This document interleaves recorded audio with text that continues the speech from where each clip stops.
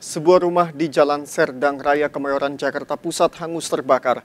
Kebakaran berawal dari penjual menu buka puasa yang nekat memasak tepat di samping kios bensin. Ini motor untuk buntu Pademangan telah terjadi kebakaran di Serdang Raya depan depan. Kobaran api dengan cepat merambat ke sebuah rumah warga di Jalan Serdang Raya, Cempaka Baru, Kemayoran, Jakarta Pusat. Banyaknya bahan yang mudah terbakar serta kencangnya tiupan angin membuat api cepat membesar. Petugas suku dinas penanggulangan kebakaran dan penyelamatan kota Jakarta Pusat yang tiba di lokasi langsung berupaya melakukan proses pemadaman. Api berhasil dipadamkan satu jam kemudian setelah 8 unit mobil damkar diterjunkan ke lokasi kebakaran.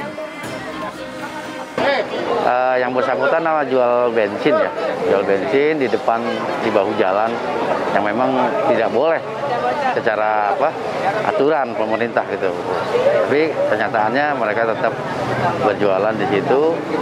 Yang sebelahnya juga dagang apa eh, masakan masakan kecil lah seperti itu.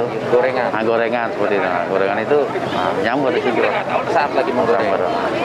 Udah, karena bensin ya terus ke mana-mana. Meski tak ada korban jiwa dalam kebakaran ini, namun seorang penjual bensin yang mengalami luka bakar di tubuhnya harus dievakuasi ke rumah sakit terdekat guna mendapatkan pertolongan medis.